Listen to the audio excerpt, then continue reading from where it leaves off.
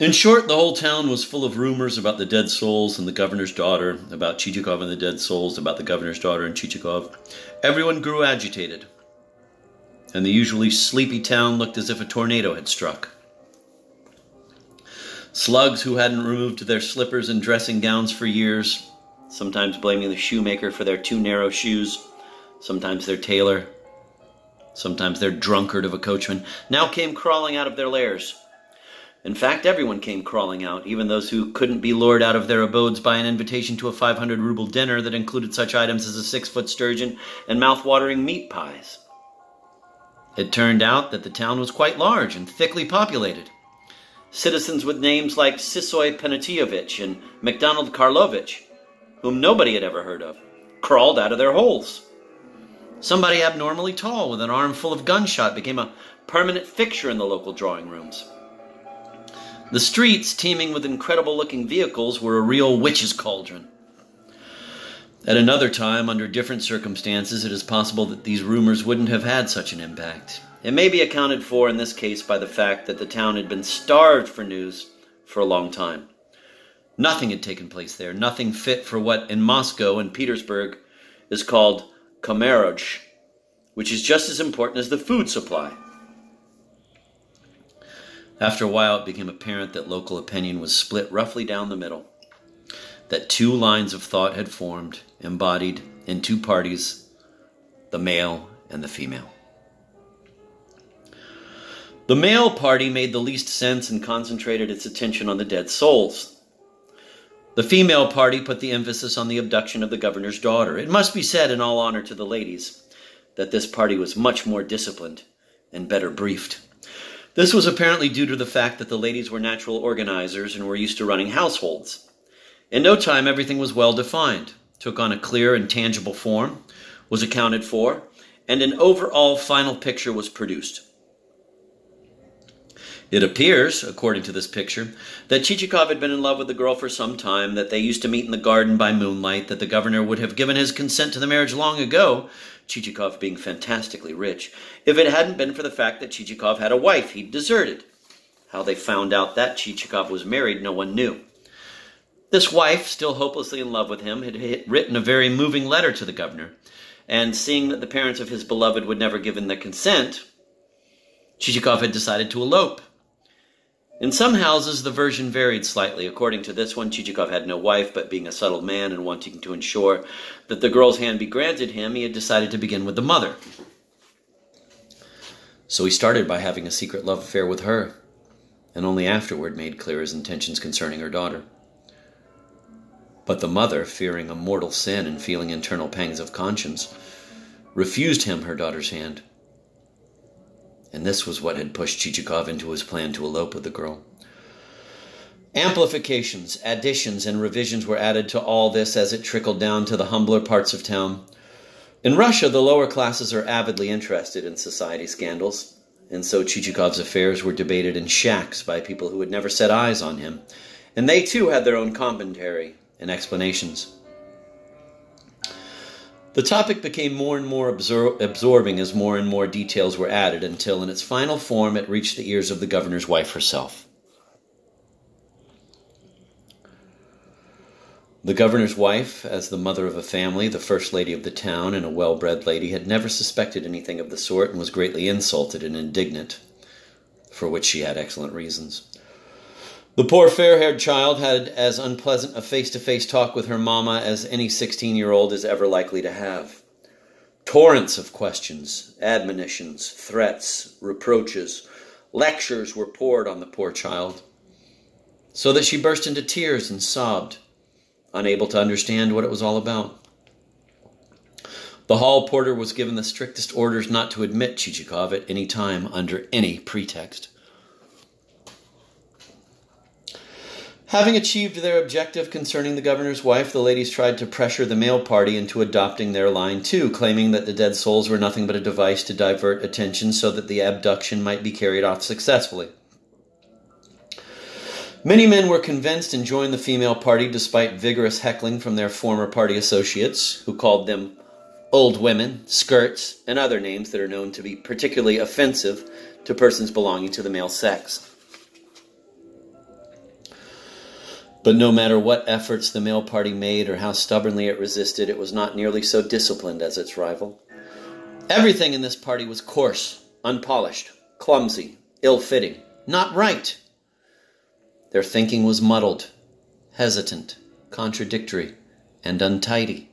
In short, there was ample evidence of the male's hollow, crude, cumbersome nature, of his incapacity to run a household, of his innate lack of aptitude for deep emotional conviction, of his unreliability, laziness, constant doubt, and eternal fears. The males contended that the whole elopement business was nonsense and would be more likely carried off by a hussar than a civilian. They said Chichikov would never do such a thing, that the women were lying, that a woman is a bag that carries around everything put into it, that the crux of the matter was the business of dead souls, which, though the gentlemen were damned if they knew what it all meant, nevertheless suggested something evil, something to no good end. Why the men suspected something evil and to no good end about the whole dead souls business, we shall find out right away.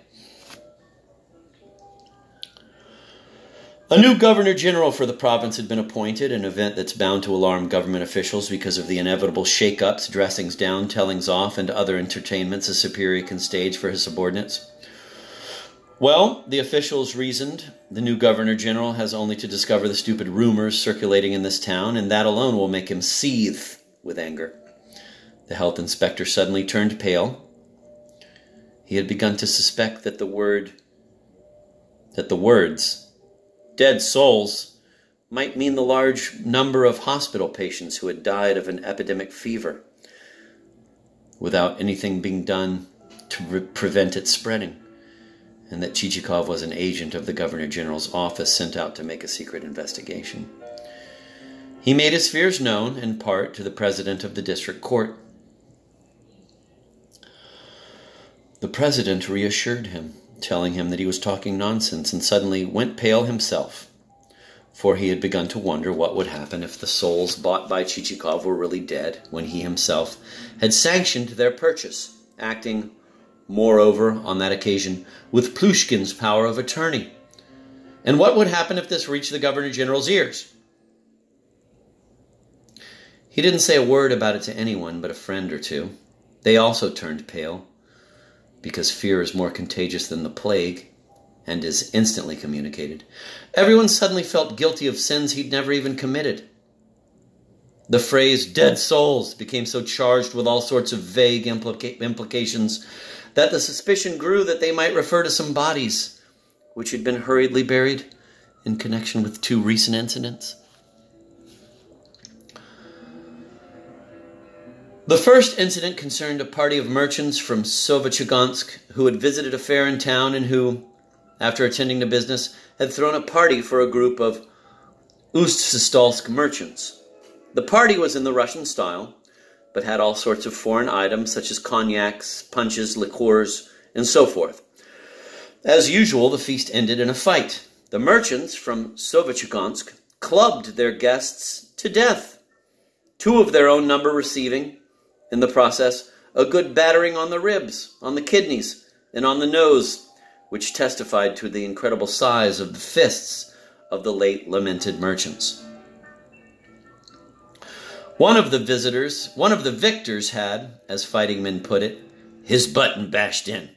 That is, it was so flattened that nowhere did it project from his face more than a quarter of an inch. The surviving merchants admitted that they had gone a bit far. There were rumors that, in offering admissions of guilt, they made an additional offering of four government banknotes each.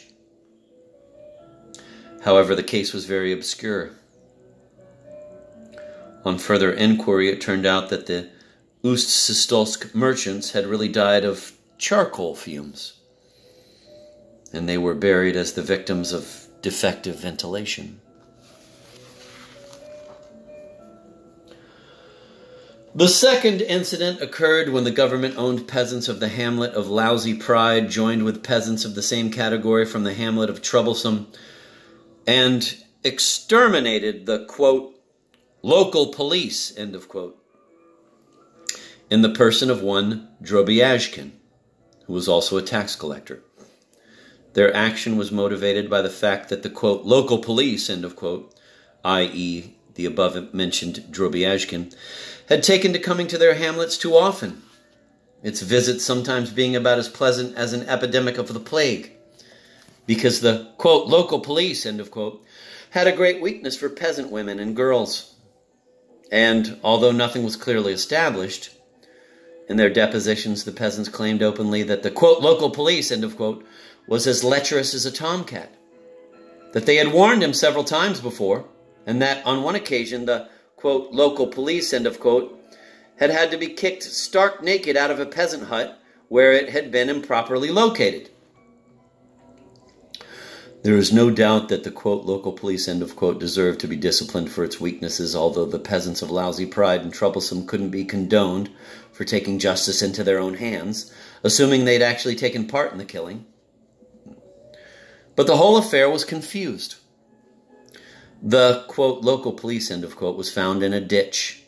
Its tunic or coat, it was impossible to tell which by then, looking more like a rag than anything else, and as to the face, it was completely unrecognizable.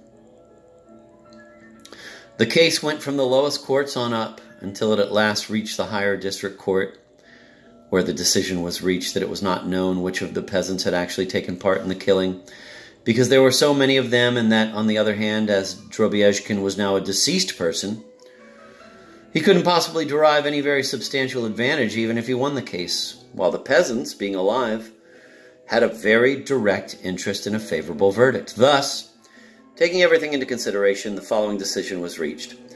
Tax collector Drobiazhkin was himself responsible for the event by oppressing the peasants of lousy pride and troublesome, and as to the circumstances of his demise, there was presumption that he had suffered an apoplectic stroke when returning home in his sleigh. The case seemed to have been neatly closed, and yet, God knows why, some officials started to wonder if the present furor about dead souls had anything to do with it.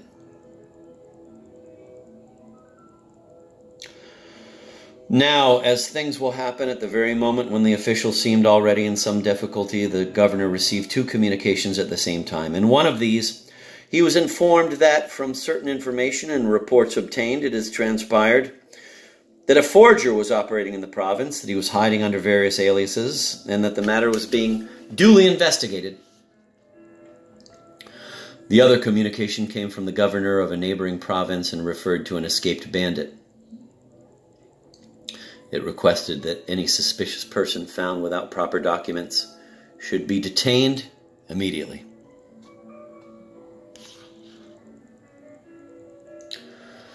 These two communications had a stunning effect on one and all. They knocked the stuffing out of earlier surmises and suppositions. Of course, the communications could not have had any connection with Chichikov. Still, each person thought, after all, no one actually knows who Chichikov really is. Chichikov himself was quite vague about his own person. True, he'd said that he had suffered in his career for always telling the truth, but that was very vague indeed. And then they remembered that he'd mentioned that he had many enemies who'd even made attempts on his life. That made them think even more. If his life had been threatened, if people had a grudge against him, he must surely have done something. And who was he, after all? Of course, it was impossible to imagine him counterfeiting banknotes, and even less to consider him the escaped bandit. He looked much too respectable for that, but who was he then? Now the town officials started asking themselves the question they ought to have asked at the beginning of this narrative, i.e., in chapter 1.